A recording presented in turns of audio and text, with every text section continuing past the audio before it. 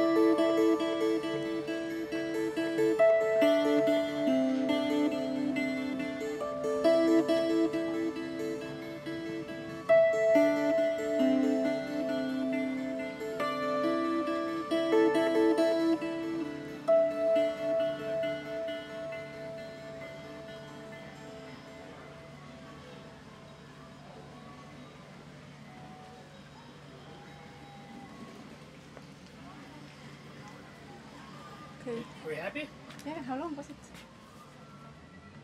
About five minutes. It's so long. I thought it was two minutes.